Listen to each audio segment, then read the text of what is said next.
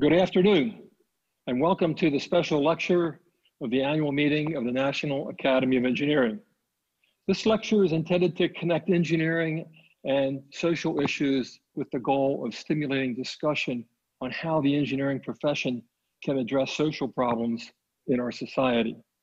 I hope we will continue this lecture at future annual meetings because I think the engineering profession must recognize social issues and problems if it wants to contribute to the social good. It is a great honor for me today to introduce today's speaker, Dr. John Brooks Slaughter. Dr. Slaughter's biography is available online uh, in the online program book, but I will quickly uh, note that he is a professor of education and engineering at the Rossier School of Education and the Viterbi School of Engineering at the University of Southern California. A former director of the National Science Foundation, chancellor of the University of Maryland, College Park, and president of Occidental College, Dr. Slaughter is well known for his commitment to increasing diversity in higher education with a focus on STEM disciplines. He has also served as president and CEO of the National Action Council for Minorities in Engineering, known as NACME. He has been a member of the National Academy of Engineering since 1982 and has served on the Committee on Minorities in Engineering and the Action Forum on Engineering Workforce Diversity. He was also elected to serve two terms on the NAE Council.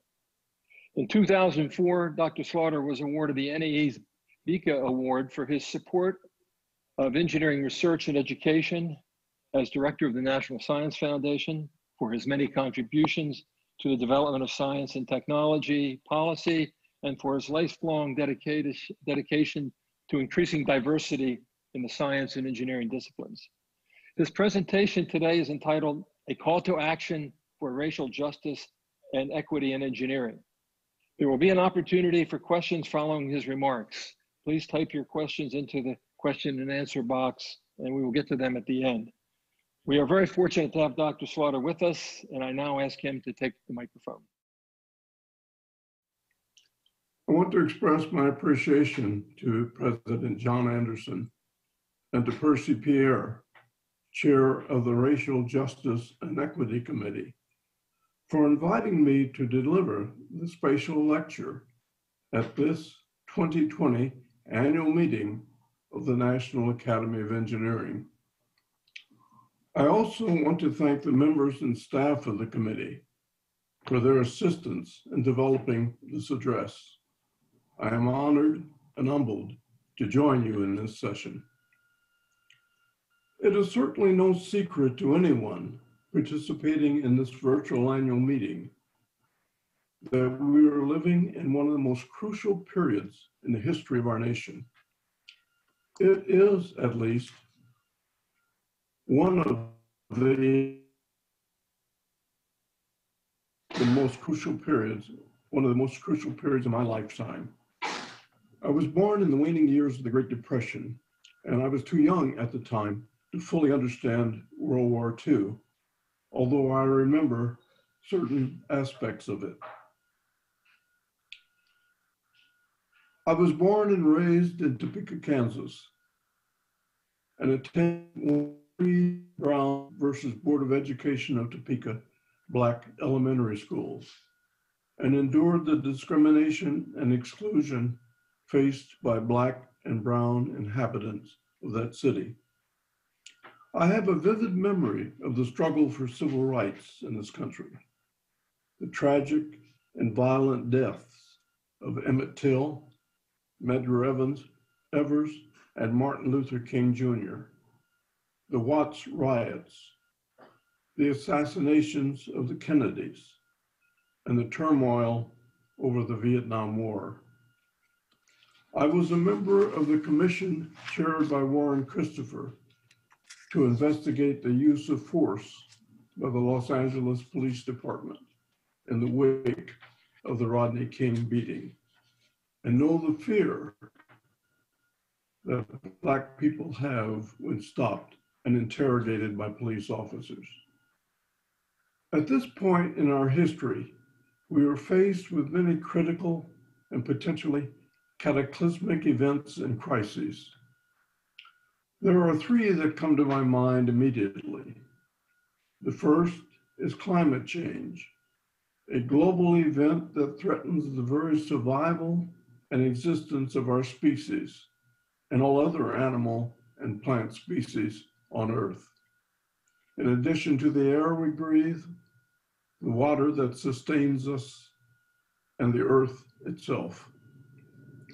The second threat are the novel pandemics, which have the power to imperil our lives and dramatically change the way we live, work, and interact with one another.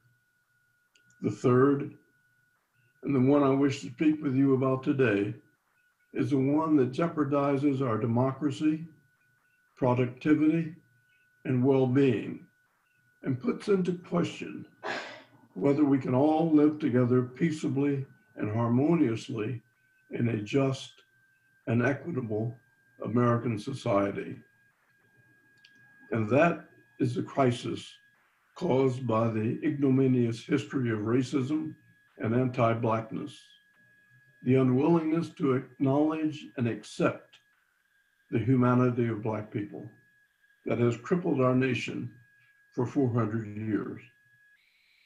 A common thread that runs through each of these monstrous and intractable problems is the fact that engineers have a role to play in identifying and developing answers for their solution.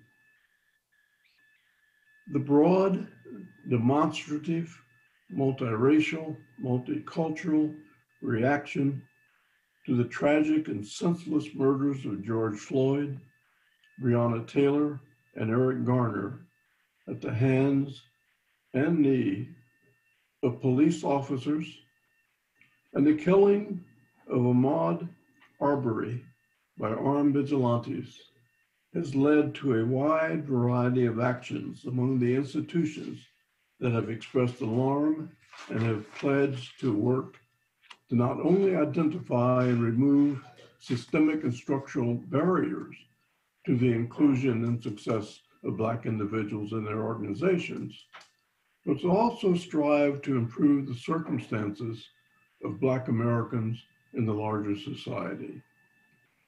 The names of slave owners have been removed from buildings at universities throughout the country. The statues of Confederate generals, the stone ghosts of the South, as they were called by journalist Trymaine Lee, have been toppled. Among the institutions that have expressed allegiance to the Black Lives Matter movement and have vowed support for anti Blackness efforts are professional engineering associations, honorary societies, and STEM related organizations. Even NFL players are displaying signs that say end racism or Black Lives Matter on their helmets, shoes, and uniforms. All of these are extremely encouraging developments because far, far too long, many of the organizations and institutions that are now on board have been on the periphery of racial justice movements, movements and have at most provided rhetoric, little in the way of action in addressing the inequities, discrimination, and implicit biases that exist and persist in their midst. It is my intent in this address to point out why I believe that a cultural transformation is necessary in the profession of engineering and in many of its institutional arrangements and practitioners. If, if we are to participate meaningfully in the efforts to create a more racially just and inclusive American society. At this critical moment in our nation's history, we need more than words that renounce racism and anti Blackness. We need actions to abolish racism and anti Blackness. Not only must we be mindful of the words of Martin Luther King Jr., who wrote these words The arc of the moral universe is long, but it bends toward justice. But also the words added by the late Supreme Court Justice Ruth Bader Ginsburg, but only if there is steadfast commitment to completing the task. When I was chancellor of the University of Maryland College Park, I co-taught a class in the African American Studies Department. On the first day of the class, I went to the blackboard and I wrote what I somewhat lightheartedly referred to as Slaughter's Theorem. It read, Black studies is for white students. Math, physics, and chemistry are for black students. There's no doubt that I could have been accused of unbridled hyperbole at the time, but I believed what I had written. I believe it even more today. Thank you for staying with us. Uh, very sorry for the technical difficulty. We're having some video problems with Dr. Slaughter's connection, so he will be with us in audio only. So uh, we will still hear his talk, and I and thank you for being being patient. Dr. Slaughter. Thank you, John. I apologize for that. And I hadn't planned on that difficulty. Uh, I was at the point where I said that white Americans must come to understand and hopefully appreciate the lived experiences of Black Americans throughout the history of our presence in this country. The negative effects of the history of white supremacy are evident today in the COVID 19 pandemic, in which Black Americans are disproportionately affected medically and economically. It is not hard to understand why the rise in the presence of white supremacists today makes us fear for the lives of our children and grandchildren. No longer should any of us accept the excuse, I don't know. White Americans must come to understand the harm that white supremacy has on them, just as it has on the Black people for whom it is targeted. In short, white Americans must come to understand what James Baldwin meant when he said, to be Black in America is to be in constant rage. And fittingly, I believe it was Abraham Lincoln who declared, justice will not be served until the unaffected are as outraged as those who are affected. So long as some behave as though they are unaffected by the systemic and structural racism embedded in the manner in which our society has and continues to operate, the meaningful and difficult conversations. The conversations not for the purpose of assigning guilt or blame, but rather to finding understanding, understanding and agreement will not occur but they must occur if we are to rid ourselves of the fear of the other, the yoke that prevents us becoming a nation where everyone is treated with dignity and respect. And there is, hopefully, regard for the opinions of others. And engineers must be at the table where these conversations take place. We are also at a moment when the country can ill afford to ignore the talents that exist in those persons who have been historically underrepresented, underrecognized, and underappreciated in science, technology, and engineering. We must recognize that America cannot and will not maintain a prominent position in the STEM, skills so long as anyone is prevented or impeded from the fullest possible opportunity to participate and contribute to our scientific, technological, and engineering activities and achievements. Our economy, productivity, and welfare of our citizens depends upon it. Given the inevitability of future pandemics and the current and impending consequences of climate change, our very survival depends upon preparing and marshaling all the talent we can possibly develop.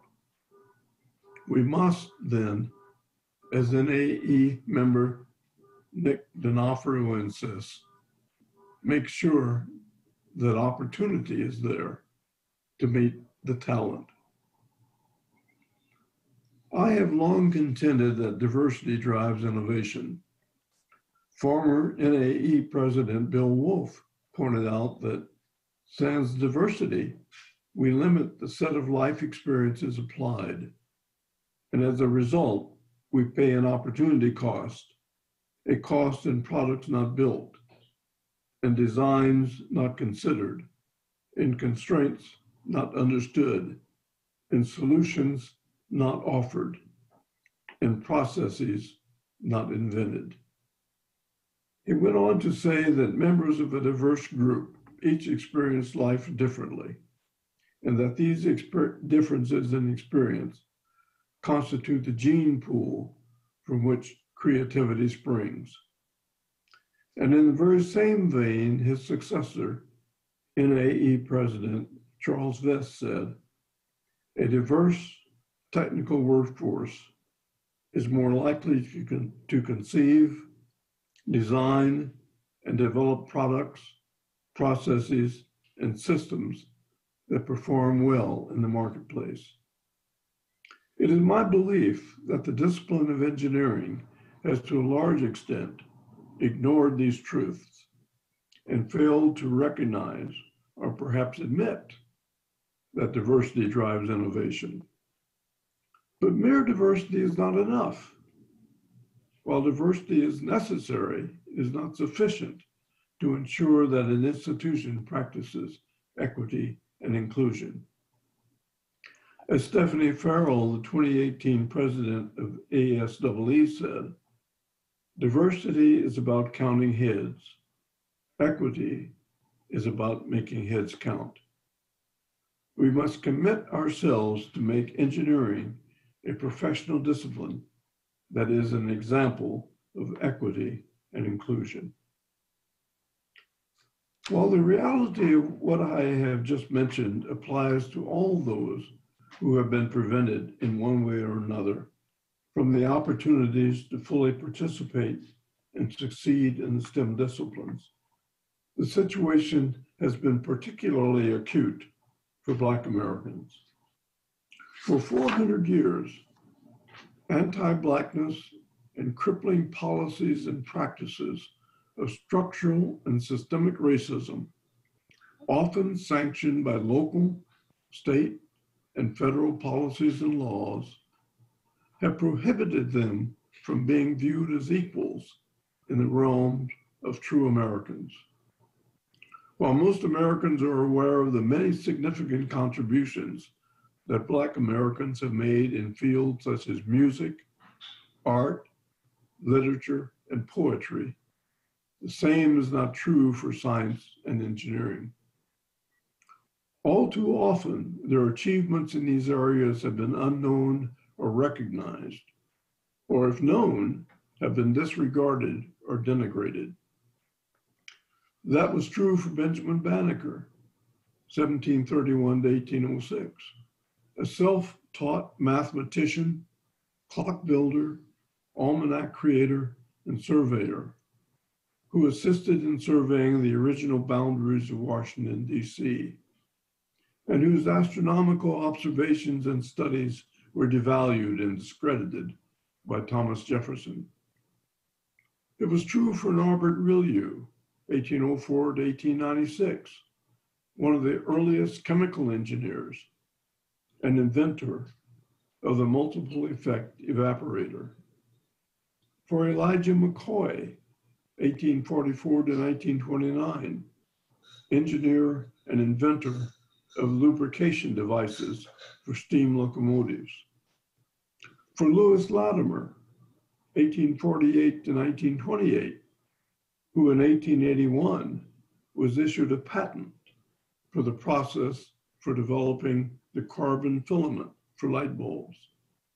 Prior to his joining Thomas Edison in 1885 in the design and creation of the first incandescent bulb. And for Garrett Morgan, 1877 to, to 1963, inventor of the three position traffic light. How many members of the Academy know that Mark Dean, a co-inventor of the personal computer, holds three of the nine original patents for the IBM PC? Or that James West invented the microphone technology on the cell phone you have in your pocket? Or that black engineers, doctors Gilda Barabino, Shirley Ann Jackson, Gary May, Darryl Pines, and Gregory Washington are presidents of some of America's most highly regarded research universities. Yes, Black Americans have been and are contributors to this country's might and capabilities in science, technology, and engineering. If we were to eliminate the systemic racial inequities that crush the aspirations and potentialities of so many Black Americans, our nation would not only be more just and equitable, but it would also have an even greater capacity for innovation and productivity. We must let opportunity meet talent. It is no secret that the field of engineering ranks well behind medicine, law, and many other professions when it comes to the commitment to and practice of social justice activities. For the most part, engineering education is not afforded engineering students with the exposure to the liberal arts and social science courses that would prepare them for seeing engineering in terms of its service to humanity. But I contend that the grand challenges of engineering the 14 global problems identified by the, academy, by the Academy will require more than science and mathematics to solve. They will require a profound understanding of matters such as the politics, economics, cultures, languages, religions, aspirations, fears, and histories of the societies and people who will be affected by and who will be the users of the technologies developed by engineers to address and solve those problems. Engineers must have an appreciation for ethics and consider the questions of who benefits from and who is disadvantaged by the devices, machines, systems, processes, and organizations that we are responsible for creating. No longer should anyone tolerate the design of a highway, bridge, or light rail system that displaces a Black neighborhood or business community to advantage white suburbanites on their commutes to and from the central city. Engineers need to recognize our social responsibilities in helping to make healthcare more affordable and available for the poor and underserved. Apply our critical thinking and problem solving abilities to the inequities in performance and success of minority children in our public school educational systems and address the critical problems that exist in our criminal justice, criminal justice systems. To do so, we must employ the engineering habits of mind that were formulated by the NAE and the NRC in 2009. Being creative, working and negotiating in teams, adopting optimistic mindsets when problem solving and designing, thinking not only about individual technologies, but also about how the systems within these, within these technologies operate. And importantly, considering the ethical nature of engineering and its products. Speaking of the grand challenges, Racial Justice and Equity Committee member Gary May suggested that we add a 15th grand challenge of engineering, achieving diversity, equity, and inclusion. His suggestion was seconded by all. By the way, a few years ago, the National Science Foundation reported that research had shown that a larger proportion of Black and Brown K through 12 students aspire to become engineers than do their white peers. But at the same time, another study revealed that only 4% of Black and Brown high school graduates have taken the requisite courses to enroll in engineering study in college. This is due to the fact that many of these students have attended under-resourced schools in economically depressed areas, have lacked exposure to role models and mentors, and have faced discouragement from administrators, counselors, and teachers. I know this from experience because it happened to me and many like me in my generation. That it occurred back then could be considered shameful. The fact that it continues today borders on the criminal.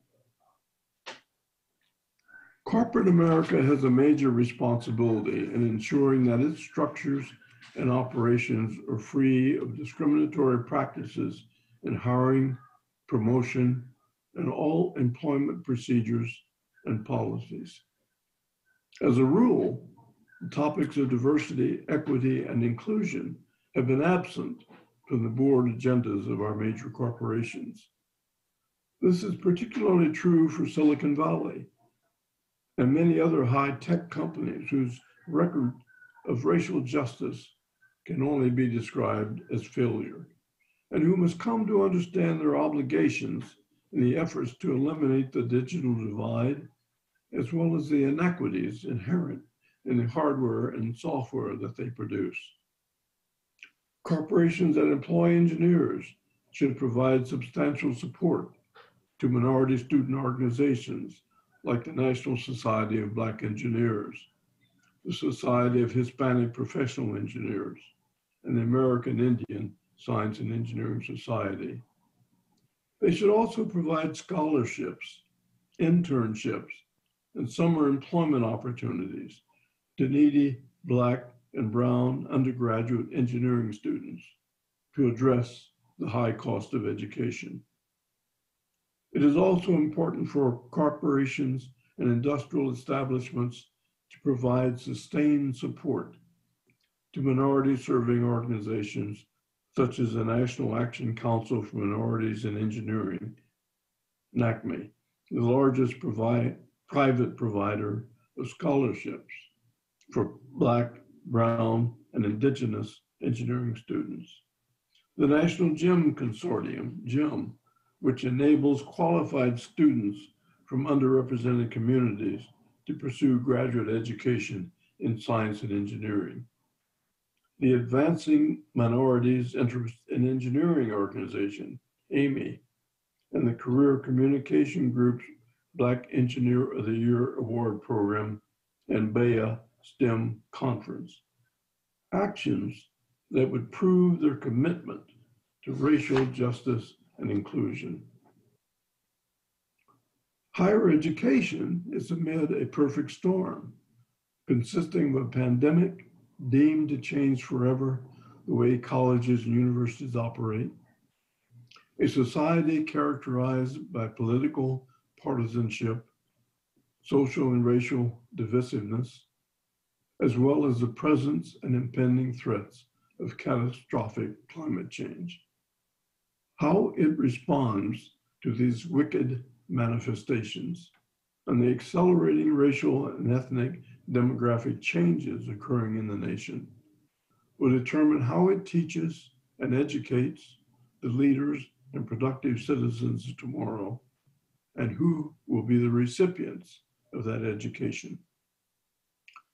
Although numerous encouraging transformations have taken place, I find many of the moralistic pronouncements by some of our most prestigious educational institutions in the wake of the recent Black Lives Matter demonstrations to be disingenuous and off putting.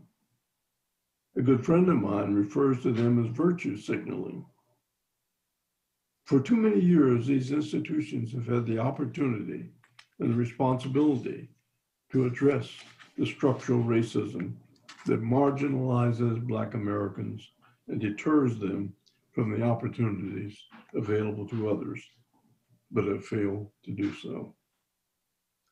Given the increasing presence of Black and Brown students in the college age population, the concomitant decline in the proportion, proportion of white students, in addition to the potential decrease in international students due to the pandemic and changes in immigration policies, colleges and universities must diversify their undergraduate enrollees or ultimately close their doors. The same imperatives, regrettably, do not exist for graduate students and faculty. The dearth of Black, Brown, and Indigenous persons on the faculties of our major research universities is higher education's Achilles heel and its shame. This is particularly true for the STEM disciplines. While the presence of Black tenure and tenure track faculty in most large research universities harbors around 6%, it is 2% or less in science and engineering departments. Since in many engineering programs, 75% or more of graduate students are non-residents, these depressing figures are unlikely to improve. Our colleges and universities can and must do better. I hope they will develop the resolve to do so. Engineering schools can start by reaching out to historically Black colleges and universities and Hispanic serving institutions to develop relationships with their faculties and students. They should be proactive in efforts to recruit a more diverse set of faculty members rather than waiting for responses to ads in academic journals and newsletters. They should find ways to inform and encourage Black, Brown, and Indigenous engineering undergraduates to consider graduate study in preparation for an academic career. They must recognize the importance of removing those structural impediments with their own organizations that discourage minority students and impair their ability to succeed. They must reevaluate their core values and become equity minded rather than deficit minded in their approach to ensuring a fair and equitable educational experience for all students. Importantly, they should focus less on being elite and instead strive to be excellent in the broadest sense of that word. Change must begin within. An important first step was taken a few years ago when Yannis Yortsos, the dean of the USC Viterbi School of Engineering, spearheaded an effort that led to more than 200 engineering schools and colleges to sign a pledge to provide increased opportunity to engineering careers for underrepresented groups, and to ensure educational experiences that are inclusive and that prevent marginaliz marginalization of any groups of people. They further affirm the importance of these aims as a reflection of their core values and as a source of inspiration for drawing a generation to the call of improving the human condition. What about the National Academy of Engineering?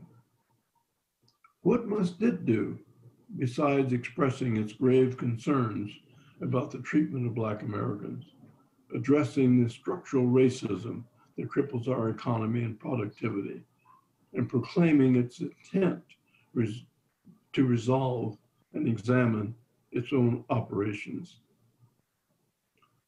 its policies and procedures, as well as determine how it can improve the circumstances of underrepresented and marginalized persons in society. It must be pointed out that the NAE has a long record of involvement in efforts to increase the presence of underrepresented minority students in engineering.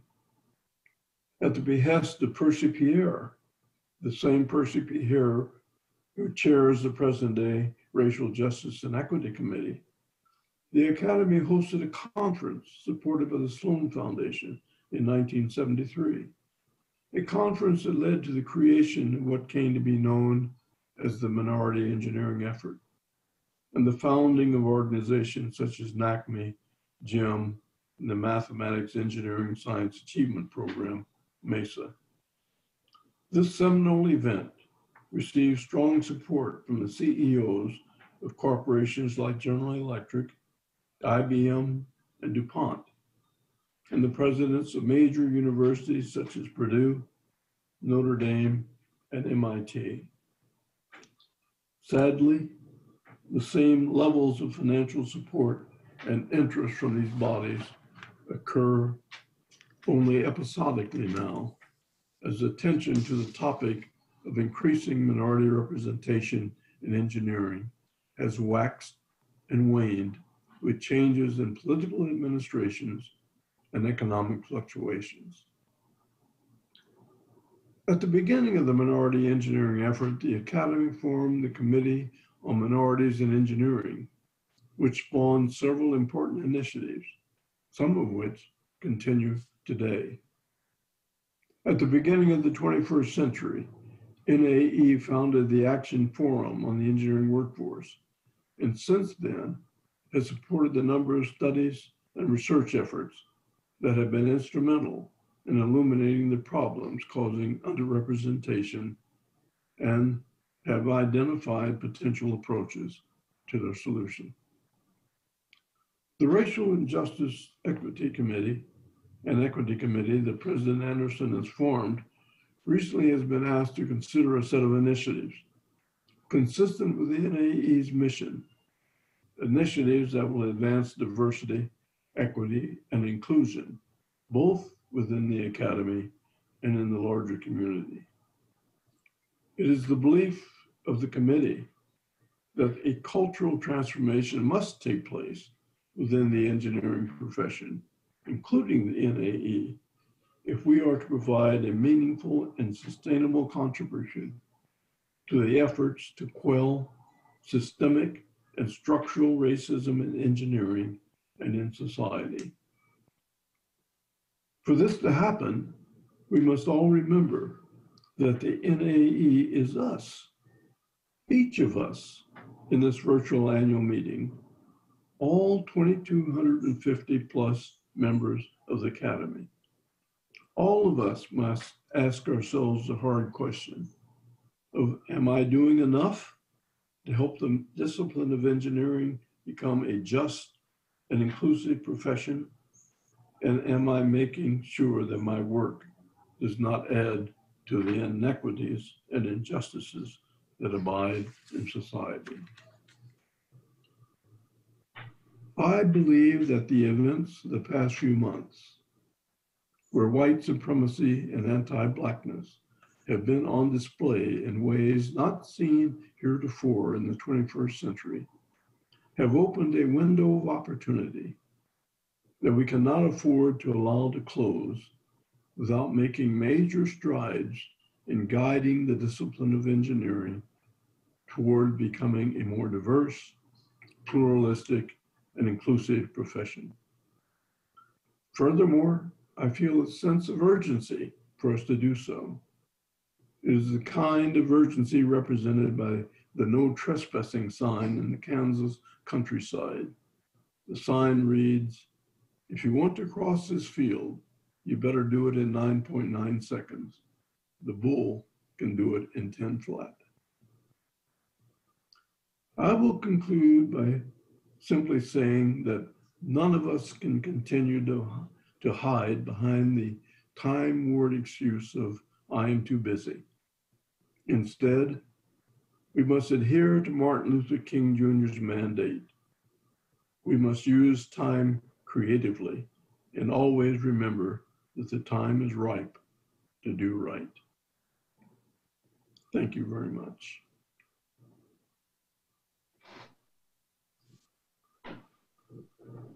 Thank you, John. That was uh, outstanding and a wake-up call.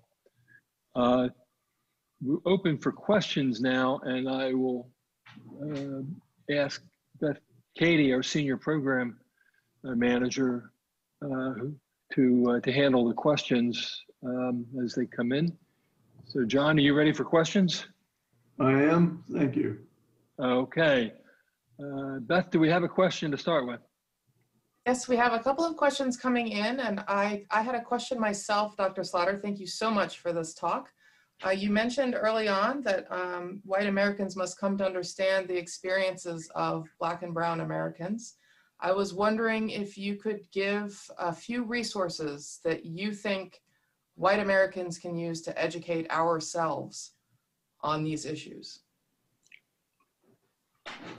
Beth, I think I think there are a a number of books um, that uh, are available. Many of them are available um, through um, outlets like Amazon and so forth on this topic. This has be, become um, a, a, a, subject that many people are, are, are writing about, and uh, I, I, think there should be no no difficulty in being able to to find uh, um, books about the history of uh, African Americans in, in, in this country.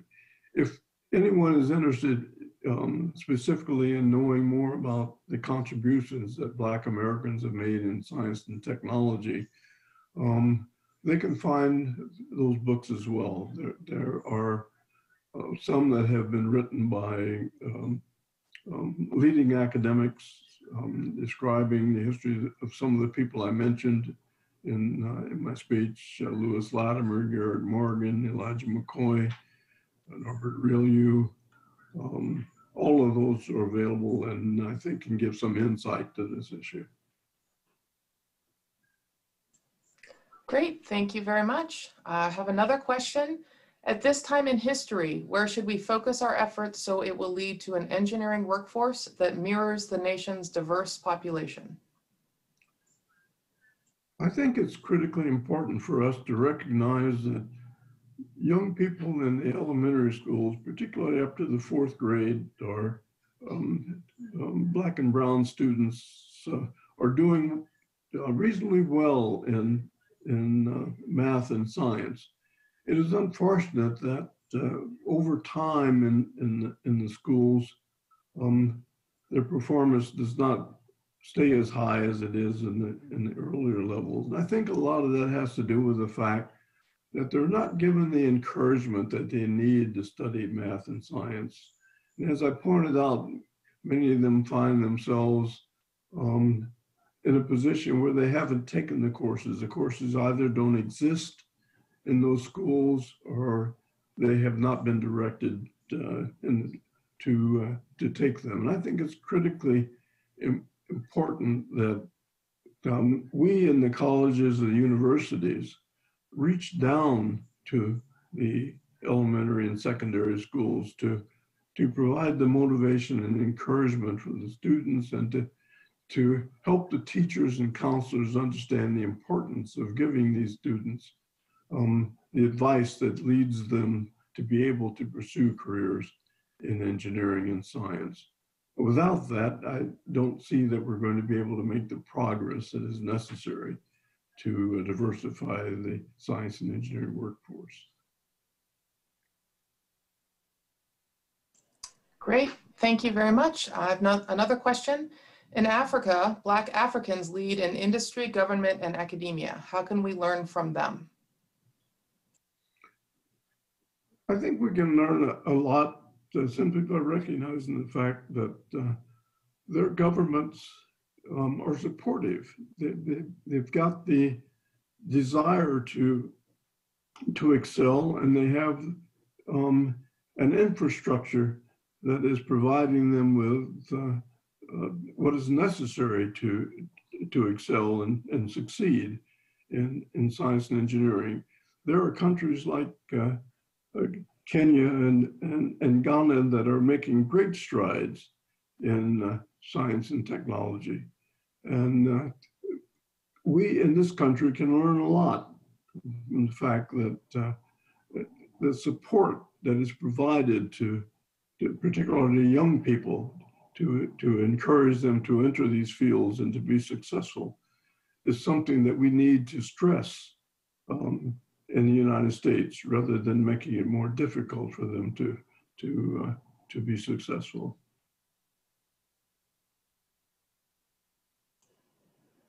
Great, thank you. Um, I've got another question.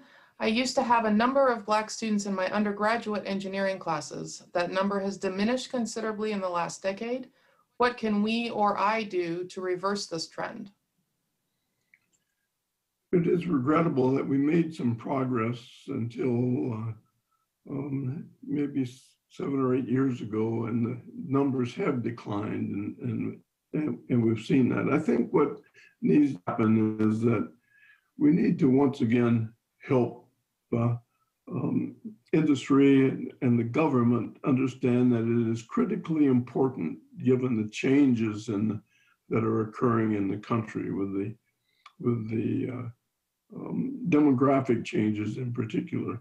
We we need to to get more support from those sources that can provide not only financial support, but um, encouragement and and and uh, um, mentoring for these young people. I I am um, not at all pleased about the fact that that uh, we cannot count on um, some of the same organizations and, and institutions that provided support uh, at the time, at the beginning of the minority engineering effort. Um, that has had a crushing effect upon our ability to increase the numbers. We started out with the idea of achieving parity in proportion to the presence of black and brown um, people in this country, but it, we have fallen well short of that goal. And it's going to require a mobilization on the part of all of us to see that that that uh, we once again proceed in that direction. All right, another question. Thank you for speaking. I'm glad you brought up the topic of prestige. As a Black mechanical engineering graduate student, I've been discouraged from doing work at the intersection of engineering and equity because it was seen as, quote, less prestigious and, quote, less worthy of pursuing. How do we combat this issue in academia?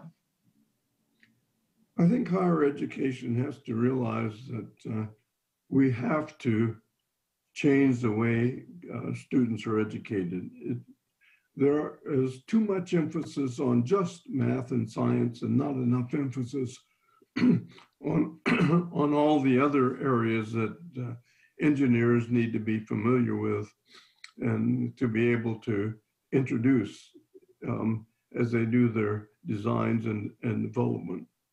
I, I believe very, very strongly that uh, um, we have to have an infusion of liberal arts education in engineering education.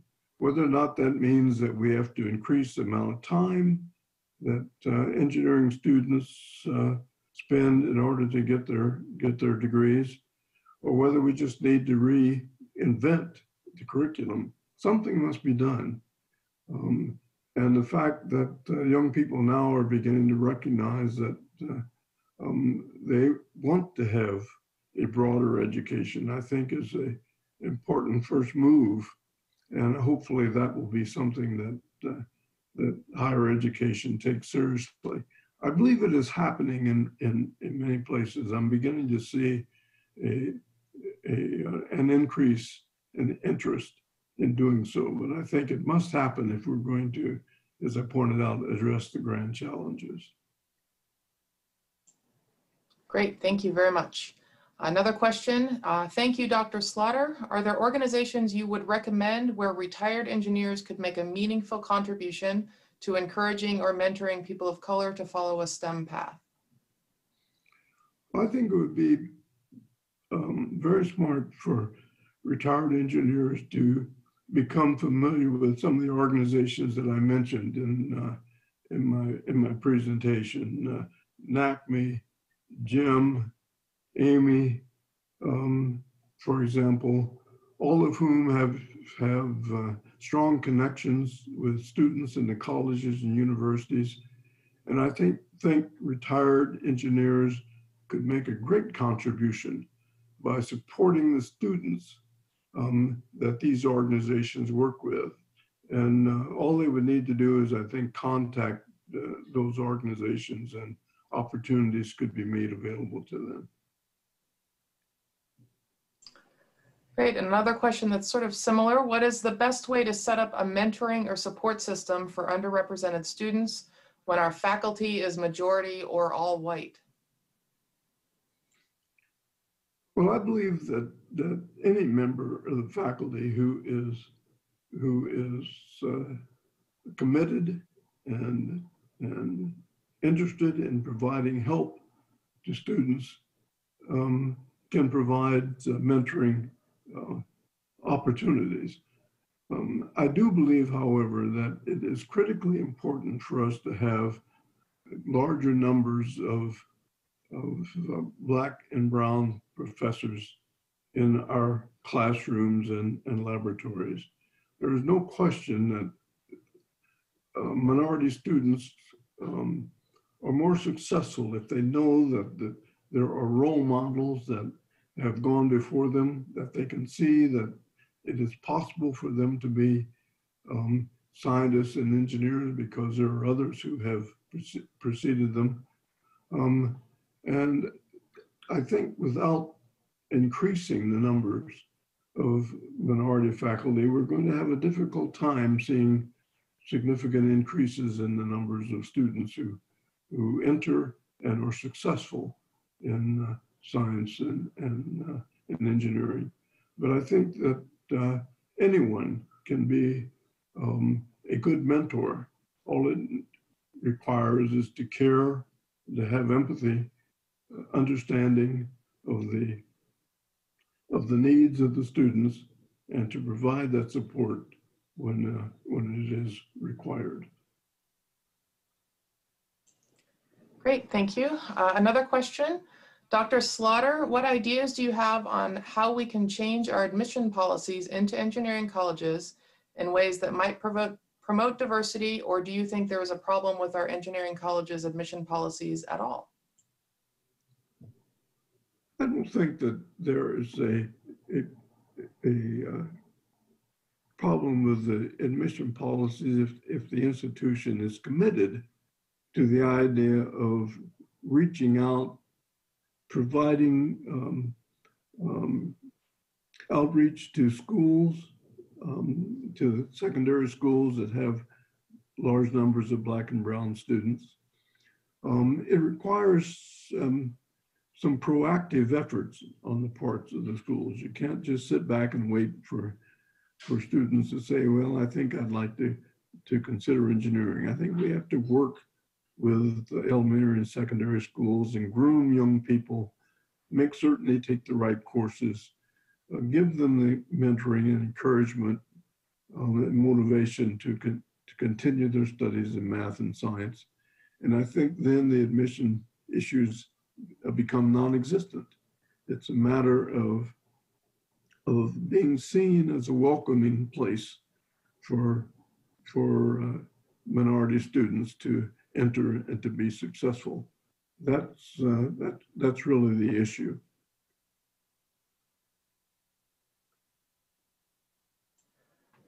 Okay, um, and actually related to that, NSF's NSF's Advanced Institutional Transformation Program has been successful in increasing the number of women faculty in STEM.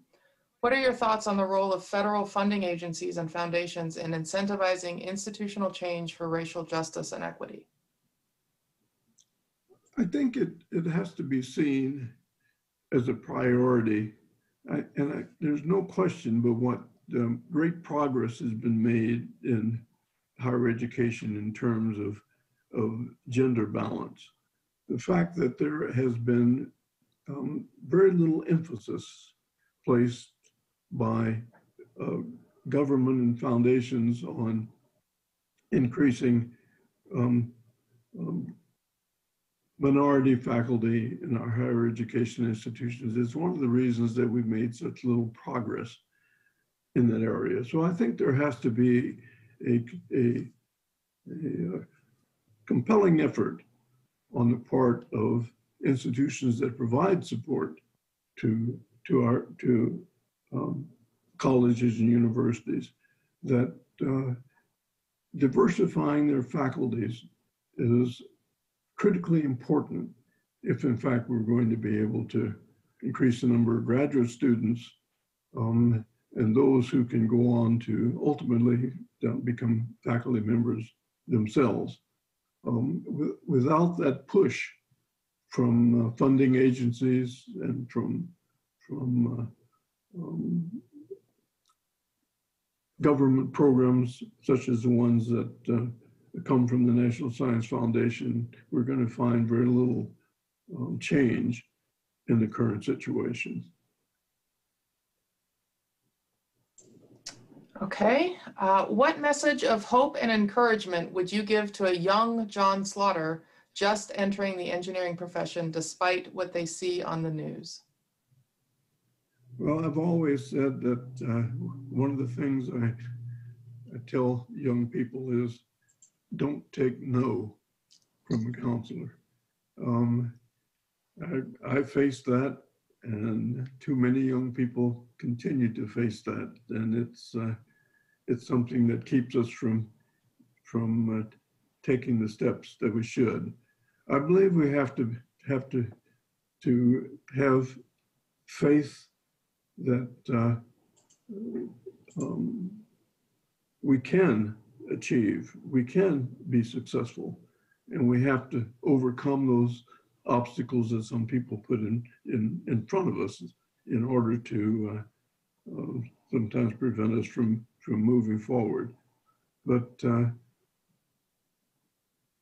continue to believe, continue to dream. Do not uh, do not let uh, barriers stand in the way of your pursuing those goals, and uh, and you you can be successful.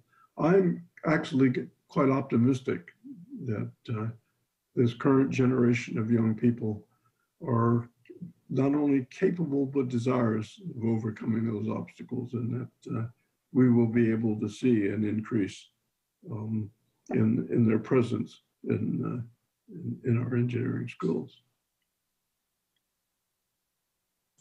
Great, thank you. Uh, another question, what might be done to counteract tendencies to reject education and industry applicants with African-American sounding names?